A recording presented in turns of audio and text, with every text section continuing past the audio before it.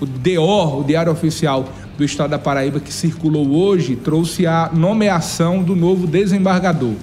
O governador João Azevedo nomeou Francisco Seráfico da Nóbrega Filho para o cargo de desembargador do Tribunal de Justiça da Paraíba, na vaga do 5 Constitucional do Ministério Público. O ato de nomeação foi publicado na edição desta terça-feira do Diário Oficial do Estado. Porém, ontem, segunda-feira, através das redes sociais, o governador já publicizava sua escolha.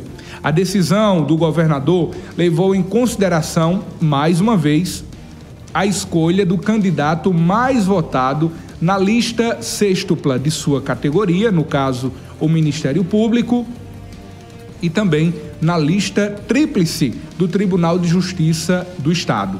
Na lista sextupla do Conselho Superior do MP, Francisco Seráfico foi o mais votado, com seis votos. Já na escolha do Tribunal de Justiça, ele obteve 17 votos.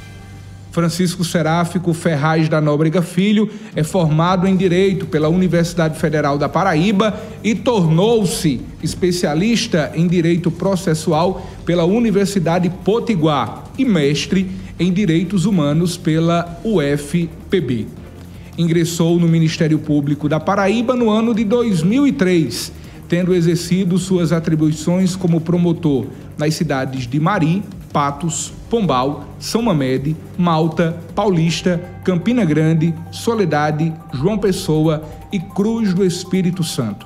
Após figurar na lista tríplice com 75,7% dos votos da categoria, assumiu o cargo de Procurador-Geral de Justiça em agosto de 2017 e foi reconduzido ao cargo em agosto de 2019, após ser novamente o primeiro colocado na lista tríplice para o biênio 2019-2021.